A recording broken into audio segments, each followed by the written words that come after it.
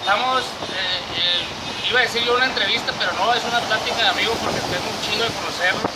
Y, y antes de que nada, muchas gracias Mario por estar. No, a ti a la orden. Mario, en estos días se ha estado platicando muchas cosas, que si las mujeres, eh, una en la que yo estoy totalmente de acuerdo con Mario Valenzuela, es cuando dijo que en el PRI pues, vamos a tener, vamos a terminar nosotros, y yo estoy de acuerdo, ¿eh? porque yo creo que no es cosa de equidad ni de igualdad, es cosa de capacidad, y hay hombres mucho mejores que mujeres y mujeres mucho mejores que nosotros. Que de ese tema, Mario, ¿qué podemos hablar? Mira, el tema de la equidad y la igualdad para mí es, un tema que no debe tener que, no tiene que tener, debe tener que ver con cuotas. Es un tema que tiene que ver con la igualdad, con libertad, eh, participar como iguales hombres y mujeres. El tema de género no es exclusivo de mujeres ni de hombres, es de ambos. Entonces, como tal, se tiene que ver y se tiene que respetar. Ciertamente hay una ley federal que dice que 150 mujeres serán diputadas, candidatas a diputadas y 150 eh, varones. Una ley que la crearon los políticos, que la crearon los, eh, diputados, y bueno, pues ahí está esa ley y es una realidad. Se tiene que cumplir como tal. En lo que no coincido yo y lo, sigo sosteniendo es de que se eh, violente la, la democracia interna de partidos políticos para postular a candidatos o candidatas sin, una trayectoria o sin un respaldo popular. Para eso hay, un- hay una medición que son las encuestas. Aclaro y preciso, un servidor no tiene nada en contra de las mujeres ni nada en contra de los hombres. Defiendo la igualdad. Cuando fui dirigente de los jóvenes del PRI, yo luchaba por espacio para los jóvenes, fueran hombres o fueran mujeres. Eso era lo importante. Yo no decía, deben espacio para mujeres jóvenes o para o varones jóvenes, deben espacio para los dos. O sea, no, no- no- no estaba peleando por una cuota, porque el repartir las posiciones en el partido no lo comparto. Como no comparto tampoco que se pretenda a través de una ley que está en el Congreso del Estado, se pretenda eh, aprobar que los puestos públicos de la administración del Estado, del estatal de los municipios, el 50% sea para un y el 50% para otro. Porque los puestos de administración pública no tienen que ver con cuotas, no tiene que ver con género, tiene que ver con perfiles, tiene que ver con capacidades. Que la gente, hombres y mujeres, se ganen y nos ganemos los espacios en política por rentabilidad electoral. Que los hombres y las mujeres que aspiren en un proceso interno, antes de eso hayan tenido contacto con la gente, hayan ido a tu casa, le han solucionado una necesidad, una gestión de una silla de ruedas, gestión del gobierno estatal, del gobierno municipal, que les hayan hecho un limpio, que les hayan hecho, no sé, pero que tengan esa cercanía, ese contacto con la gente y que a través de las encuestas nuestros partidos, políticos detecten quiénes son las mejores y quiénes son los mejores y en función de eso busquen la manera de postularlos. Y obviamente que si se llega a la necesidad de que haya dos partidos o más, déjenlos participar como iguales, hombres y mujeres. Si son puros hombres, porque participen entre hombres, si son puras mujeres, que participen puras mujeres o combinado. Si se logran candidaturas de unidad, qué bueno. Lo que no se puede lograr, que nuestro partido dé libertad para que se den. Pero insisto, no tengo nada en contra de los sino al contrario. Por darte un dato, Badiraguato es el municipio que tiene la fiesta más grande en el Día de las Madres. 3.000 mamás reunidas que les damos cena, regalos y música desde las 8 de la noche hasta las 7 de la mañana. El mes que entra vamos a inaugurar, por ejemplo, el andador de los badiraguatenses distinguidos. Entre ellos va una mujer, notario público, mujer del estado de Sinaloa, originaria de San Javier Badiraguato, le vamos a hacer su reconocimiento. A partir del mes de marzo, durante cada sesión de fin de, cada sesión ordinaria de fin de mes, vamos a entregarle un reconocimiento por sindicatura de Badiraguato. De las 100 viviendas que traemos nosotros para el 80 van encabezadas por mujeres. Soy el único cuando de la, diputado de la legislatura anterior que le tocó defender en a una joven mujer que aspiró a ser titular de las mujeres, que es Reina Valdés. Esta joven le argumentaron muchas políticas, muchas mujeres y muchos hombres argumentaban que no tenía experiencia, que no tenía capacidad. La experiencia se adquiere con las oportunidades, no se adquiere por la edad, es cierto. Y el Reina y el reglamento interior de las mujeres dice que para ser titular de las mujeres, con 21 años puede serlo. Reina tenía 23, pero sin embargo, le negaron el derecho y la posibilidad de ser la titular de las mujeres. Gracias a ello, eh, Elizabeth Ávila Carrancio es la hoy titular. Entonces yo creo que a veces entre mujeres se complica la vida entre ellas. El peor enemigo es una mujer, lamentablemente es una mujer. Yo lamento mucho, digo yo, que las mujeres mi teleguerra me hayan agarrado de tírale blanco. Porque ellas, ¿qué tienen que hacer? Dedicarse a lo suyo. El que un servidor haya declarado, el caso de Nabolato, por ejemplo, de esta persona que arrastró a su esposa, yo, yo siempre he dicho que si él, cometió, si él cometió un delito, usó violencia, paguen por ello. Y la ley, la autoridad competente, sea quien le castigue. No es Mario Valenzuela, ni las mujeres, ni nadie lo que vamos a fijar qué castigo merece. Para eso hay una ley y la ley se tiene que respetar. Y para eso está la autoridad competente para ejercerla. Que sí sea sancionado porque cometió un delito. Delito que no comparto bajo ninguna circunstancia porque no se debe usar violencia bajo ninguna circunstancia. Lo único que sí pedí, que, que fue un comentario, que dije que desde mi punto de vista se me hacía justo, se me hacía correcto que esta persona, igual que la señora, tuviera apoyo psicológico por lo que se dice sucedió, por lo que él vivió, por esa experiencia amarga de vida y también por lo que hizo. Una persona en sus cinco sentidos, o una persona que está psicológicamente bien, no hace una cosa de esas. No esperemos a que pasen desgracias como la que pasó recientemente en Naome, donde el hombre eh, le da un disparo en el estómago a su esposa y de ahí se suicida. No esperemos a que pasen casos como el hijo de Jorge Rincón Bernal hace cinco o seis años, aquí en Culiacán, donde encontró a su pareja eh, con otra persona, con otro hombre, y lo mataron. No esperemos a que pase el caso de Aldo Sarabia del Recodo, que también en una circunstancia similar, pero al revés lo mataron a él, cuando él se supone que su pareja le era infiel. Y muchos casos más aquí en el Estado. Yo quiero ver unas mujeres, por ejemplo, que vaya a Badiraguato, que diga, presidente, vamos haciendo equipo por las mujeres de tu municipio, que vaya a OME y vea que estos niños que se quedaron eh, huérfanos de padre y que su madre está herida, ¿quién les está ayudando? Si tienen tratamiento psicológico, si tienen apoyo económico, ¿quién les va a dar para comer? ¿Quién les va a dar para los estudios? Ahí es donde yo quiero ver unas mujeres combativos, eh, echados para adelante, no unas mujeres que están esperando a ver qué hombre da una declaración en, en sentido de género para dispararle y quererle borrar la cabeza. Ahí sí hay un fanatismo, un feminismo fanatizado, dirigido hacia un servidor. Y eso hace, eso sí es violencia política. No solamente violencia, es presión política para que ningún político que tenga un puesto ahorita en, en, en, diputado, presidente, diputado federal, senador o gobernador, opine del tema de género.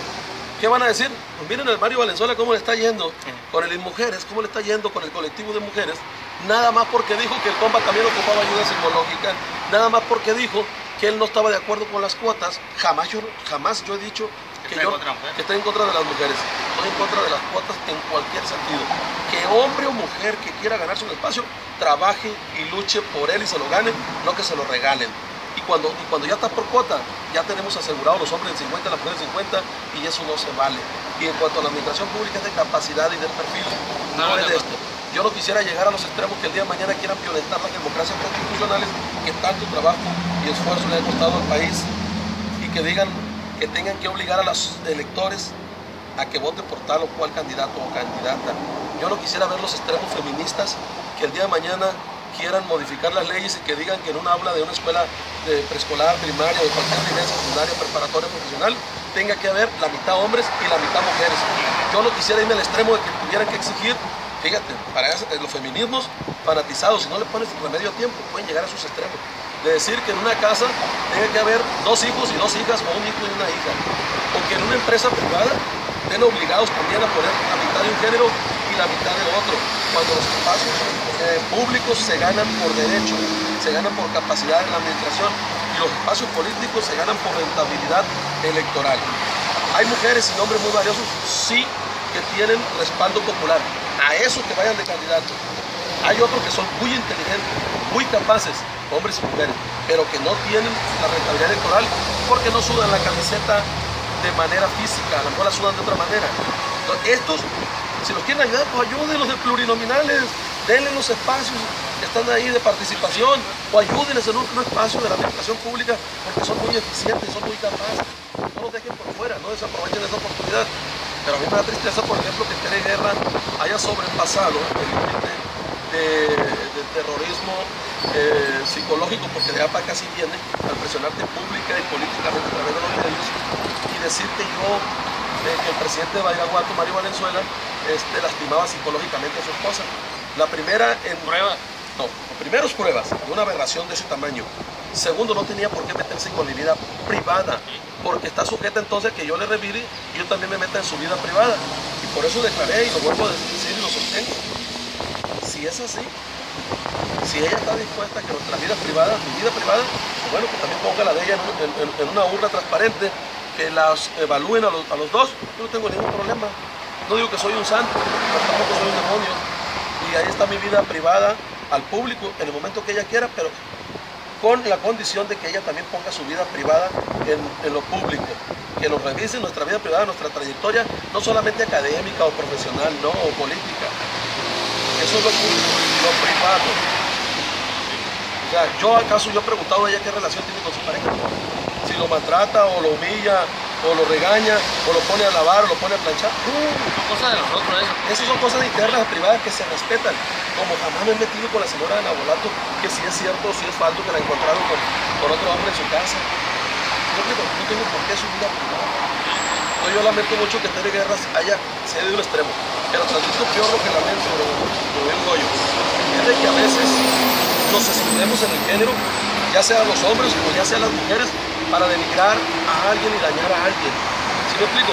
O para decir, soy mujer, le voy a echar y le voy a rayar la 10 de mayo y voy a decir que es misógino y voy a decir que golpea a la mujer y voy a decir esto, aunque no tenga pruebas, acá no me va a revirar. ¿Por qué? Pues soy mujer. Y como están en el aire, que todo pleito político, público con una mujer, la llevamos perdida. ¿Por qué? Si podemos debatir como iguales Así es. si somos ciudadanas y ciudadanos que a los 18 años adquirimos el carácter de ciudadano, tenemos los mismos derechos políticos. Y yo pues, respetuosamente le digo, si quiere dejar las cosas ahí las dejamos, pero si quiere debatir en el tema que quiera, yo estoy dispuesto a hacerlo. Respeto su trayectoria, respeto su experiencia y yo le invito a ella y a Elizabeth a que respeten lo, que está en la Constitución, el derecho a la libertad de expresión y el derecho a la libertad de opinión. Yo creo que somos libres de opinar, somos libres de expresarnos, de manifestarnos y no debemos de tener miedo a que porque dos titulares, una de las mujeres y otra del colectivo de mujeres, quieran escudarse en el género, te digan misógino, ya todo el mundo se espanta. Por eso ningún político, lo que estamos ahorita, mi Goyo, se anima a declarar sobre el tema, porque tienen miedo que, que que- que quienes encabezan estos institutos o otras mujeres se les vayan a la yugular, a la yugular diciéndole misógino. A mí no me da miedo porque he demostrado los hechos que no. Hoy acompañé a Eva Guerrero, por ejemplo, ahí a Guamuchil, Sí. y ahí estoy con cinco mujeres por un lado, cinco por el otro, acompañándolas allá y, y apoyándolas. Mi esposa tiene todo mi apoyo y todo mi respaldo. Tiene aspiraciones, sí, de ser diputada federal suplente y cuenta, con, y cuenta con todo mi apoyo, tiene todo el derecho. Ella no tiene la culpa de ser la esposa del presidente municipal de Badiraguato. Consejera política estatal, municipal, ha sido líder del, sindicato en Badiraguato, como presidenta del DIF, tiene un trabajo enorme en Badiraguato. Entonces, yo no le voy a cortar su, su sala y su derecho. Bien, yo, yo eh, invitaría, definitivamente cuando a mí me comentaron que Mario había declarado ciertas cosas, yo les dije, fui claro, ¿eh? Se directamente. Yo lo creo porque lo conozco a Mario, porque sé que no se atrevería a decir eso, lo conozco de hace muchos años, lo comenté con Elizabeth, lo comenté con otras gentes. Yo solo les digo, eh, yo estoy de acuerdo en mucho lo que dice Mario ahorita, podré no estar de acuerdo en otra, pero es libre expresión, de hecho este video en eso se basa, en decir lo que nosotros queremos, como queremos. Yo estoy de acuerdo en que las, co- no es de cuotas, sino de, de- de carácter, de fuerzas y, de, y de- veras de que tenga la capacidad de desarrollar cualquiera de las áreas. Puede ser, en, en Badiraguato a lo mejor había una mujer mejor que tú y esa iba a ser la alcaldesa y se iba a apoyar porque, porque era la- su, su tiempo y porque lo, tenía- lo iba a hacer mejor. En este tiempo es Mario, yo pediría más que nada a las instituciones que platiquen, que se acerquen, son autoridad total, o sea, los dos son autoridad y están por el velar el bien de la raza. Yo, a mí me ha tocado ir a tu municipio y, y veo que las mujeres y hombres se llevan bien contigo. A todo, ¿eh? Acabo, me- le está dando seguimiento, estuviste en el triángulo por allá ayer, llevando cobijas, colchonetas, eh, Chamarras. calcetas, chamarras, y no le llevaba nada más a hombres, pues le llevas a hombres y mujeres. Esa es la equidad que yo les digo, yo siempre consulo, la digo, o sea, yo, la equidad y la igualdad se basa desde niños hasta grandes y no nada más en política, sino desde que estás en la escuela, desde que comes, y son cosas que hace Mario. fin, yo no puedo estar de un lado de otro, pero sí digo, el Mario es mi amigo, lo conozco, yo no creo nada de la, de la declaración de yo que dijiste, que no dijiste. Yo le dije, yo le voy a preguntar directamente y que Mario me diga. Si dije que me cambiaba de sexo. Claro, eso sí, yo también me lo quiero cambiar, hijo, yo también quiero ser candidato de. Nada más brevemente te digo, yo llego a un evento del Gober, me entrevista a alguien, no sé de qué periódico, y me dice, alcalde, ¿va a renunciar usted a- para buscar la candidatura a diputado federal por el primer distrito? Y me volteé y le dije, mira madre, le dije, te lo voy a decir a broma, le pero apenas que me cambie de sexo, le dije, porque ese distrito está destinado a mujer. Ya no hay nada que hacer ahí, le dije, por lo tanto no tiene sentido de hacer la lucha. Y jajaja, nos reímos. Lo publicaron. Pero lo publicaron como encabezado. Pero si ven ustedes el desarrollo del- de, la entrevista, ahí dice que fue de broma, que fue un comentario de broma, este, como lo podemos hacer muchos políticos, pero preciso que es broma y también preciso lo de las cuotas, que no las comparto, que no coincido con ellas y, les di todos los argumentos que en ese momento están. Pero ¿qué pasó, las mujeres? Ah, el presidente declaró que no está de acuerdo con las cuotas sobre él. Ah, el presidente declaró que el, el- hombre de Nabolato ocupa ayuda psicológica sobre él. Vamos a esperar que pase una desgracia en Nabolato con esa pareja para poder actuar. No. Vamos a. Hay un padrón de, de violencia intrafamiliar en el Estado. No lo hay. A eso dedíquese ustedes, a trabajar desde su trinchera, a sumar esfuerzos en los municipios. No andar buscando a ver a quién le, a ver quién asoma la cabeza, a ver qué hombre, para llamarlo misógino y con eso presentar trabajo. Eso tampoco se ¿No va. has platicado con Elizabeth? No se No, no, una llamada de ella de, de, para acá no la ha habido ni de aquí para allá. Pero es vergonzoso, y discúlpame, que por, que por una declaración de que ocupa ayuda psicológica este hombre haya llegado al grado de pedir desaforo político al Congreso no. O sea, que- o sea, o sea, tu libertad de expresión, No voy a mirar el mejor, güey. hombre. Sí, ya sé, amor. Una, pidieron desaforo político, que no conocen las leyes estas estas mujeres. Dos, hablaron con, con, Gerardo Vargas y ya declaró también que me van a recomendar cuidar las declaraciones, pero que no pueden este, exigirme. Ah, como no las pelaron el gobierno, no las, no las siguieron el rollo en el Congreso, dicho así, como dicen los plebes, pues ya andan van a los derechos humanos para que me pongan una queja de derechos humanos para que me pegue una llamada de atención la Comisión Estatal de Derechos Humanos. ¿A quién estoy violando mis derechos humanos? Al contrario, me lo están violando a mí los derechos humanos de mi libertad de expresión y de opinión. Jamás ha salido de boca una opinión ni en el tema de las cuotas, ni en el tema de Nabolato en contra de una mujer, ni en ningún otro tema. Al contrario, fui el único alcalde del primer distrito que tuvo la valentía de, de decir, aquí está mi firma para Glorineta, y la di, y está en su tiempo y forma. Desde el primer día que me lo pidió, le dije, adelante, yo estoy con usted y yo no, no me di el tinta. Fui el único de los cinco. Los otros le dijeron que sí, pues ven, el equipo cercano va a firmar para que vean que estamos contigo. Pero nosotros, pues mira, para, para cuidar la forma y no, ¿verdad? Ni madre, aquí no se cuida. El que está, está, el que no está, no está. Sí, ahorita todo el mundo ya está porque la mujer decidió. porque, porque, bueno, Bueno, y apoyé a una mujer. Y- pero eso no lo dice mucho. Sería bueno, eso es un, un punto muy chingón que digan, bueno, te están puteando, puteando y fuiste el único hombre alcalde de es. que le dio la Fue el único que defendió a Reina. Hoy estuve con puras mujeres ahí en Altavoz. Ahí están las fotos. Florimena tiene todo mi respaldo. Está mi historia en el frente juvenil, cómo luchaba para hombres y para mujeres. Ahorita está la novia, ya gracias a Dios, de diputada en el fuerte. Sandra Lara, diputada acá, que son parte de la generación Sí, sí, sí. que traíamos nosotros. Y, y, bueno, a mí me verán luchando por la igualdad, por la equidad de género, pero para hombres y para mujeres. Que si hay un problema de pareja, ambos necesitan tratamiento. ¿Acaso, me voy, más- me voy, me voy un poquito más allá, acaso cuando hay un problema de, pareja, el psicólogo nomás atiende al hombre o atiende a la mujer? Lo primero que tienen que hacer es ir los dos para ver de dónde proviene el problema y ayudarlos. En este caso, para, ¿a, poco, ¿a poco creen que el compa es cierto que vivió esa experiencia que vivió? ¿No creen que no Pregúntenselo a cualquier psicólogo, a cualquier estudiante o pasante de psicología y no ocupan ir a pagar una consulta. Yo invito a las mujeres a que nomás vayan a la UAS, a la escuela de psicología, y le pregunte al más humilde psicólogo qué opina de esa persona. Te va a decir que hizo todo mal, porque tiene problemas psicológicos. ¿Por qué?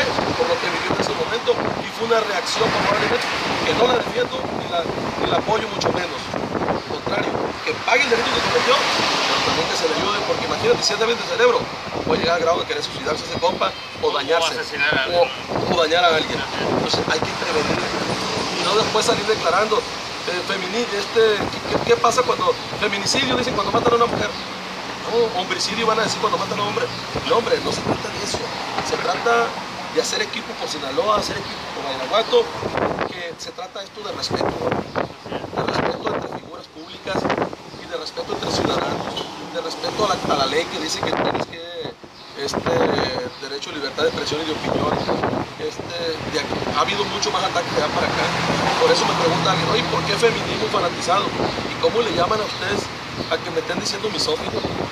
¿Cómo le llaman a ustedes a que pidan mi desafuero en el Congreso?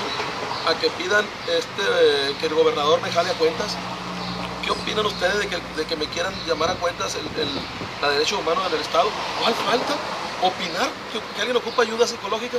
No, digo, porque opiniones, opiniones, de esas hay muchas y fuertes y no se toman en cuenta porque no, no es un alcalde o porque no Yo le decía, quizás está pegando, está sonando mucho Mario Valenzuela porque empieza a figurar otra vez políticamente. Yo lo quise ver así, pero también creo que debe haber un acercamiento de parte de las mujeres con Venezuela, Mario Venezuela con las mujeres, platicar.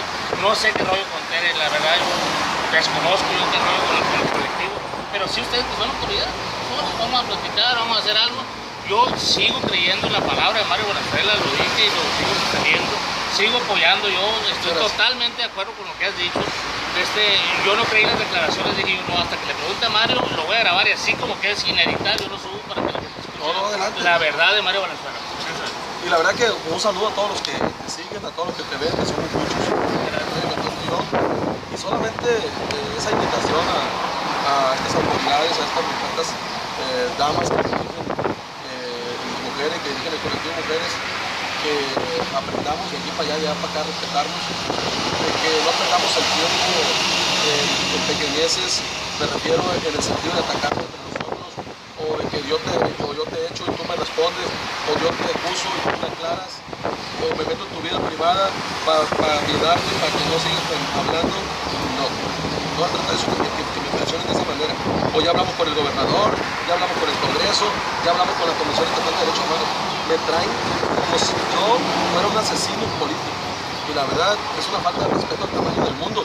Y eso, es un, eso, eso sí es un delito que me están presionando desde esas instituciones, porque eso es una, son, son amenazas políticas y públicas para que como político, un servidor y ciudadano no se anime a expresar lo que piensan. Y eso es lo lamentable de esto. Es lo lamentable de esto que muchos hombres están teniendo miedo en opinar, porque dicen, estoy de acuerdo con lo que tú dices, pero si lo digo, me vuelan la cabeza o me tiran. Entonces, las mujeres o los hombres no, si tú, hay, ahorita que están los procesos internos del PRI, tanto, tanto aspirantes a gobernador que hay, hay mujeres y hay hombres que apoyan mujeres. Hay hombres y hay mujeres que apoyan a Leonidista, a Vizcarra, a Heriberto Galindo, a Diva Damira, este, a Daniel Amador, que son los que más se mencionan sin importar el orden. Pregúntale tú, rollo, a los que, a los que apoyan a Diva si están de acuerdo en que el candidato sea Daniel Amador. No, ya el otro día dije yo. van a decir que no? El otro día dije yo que el, el, próximo gobernador del estado está en el Senado de una mujer y me dijeron misógino también. Yo dije, pues me vale madre, yo dije lo que creo, lo que pienso. Y no tiene por qué ser misógino, es tu opinión. Así es. Ah, yo hace rato hice, hice, una dinámica de esas en, en, en Le preguntaba a un grupo de mujeres, ¿usted quién apoyaría? No, pues yo apoyaría a fulano. Y verdad, no, pues a la, a, a, a la mujer. No, pues yo al fulano, yo al mangano acabo de mostrar con esto que las mujeres no se van todas con las mujeres o no se van todas con los hombres. Cada quien tiene su candidato de preferencia y su partido de preferencia. Y se respeta. Y se respeta. Imagínate eh, que, eh, cómo le van a decir entonces a las mujeres que no apoyan a la mujer. A la mujer y otros partidos. Porque hay mujeres panistas, periodistas, panelistas, fascistas que andan por otro que andan, que andan políticamente por otro lado. Y esas mujeres van a apoyar a los candidatos Las mujeres del PRI van a apoyar a los candidatos del PRI ahorita para diputaciones federales. Pero en proceso interno para gobernador, ¿a quién van a apoyar? Las mujeres del PRI y los hombres del PRI. Cada quien va a apoyar a su candidato o a, su candidata. Cada quien está prendiendo velitas a Malverde, cada quien está haciendo su luchita para unos para que llegue Aaron Iriza, otros para que llegue Daniel Amador, otros para que llegue Heriberto Galindo, otros para que llegue el propio Vizcarra, otros para que llegue Gerardo Vargas, etc. etcétera, etcétera, etcétera, ¿no? Entonces, y eso se. ¿No? ¿Cómo es posible que, que si tú, por el solo hecho de decir que, o yo, cualquiera, hey, pues que sea hombre, no, pues encima. O imagínate que yo diga que sea mujer, se me van a echar encima. Los, hombres. Los hombres. aquí,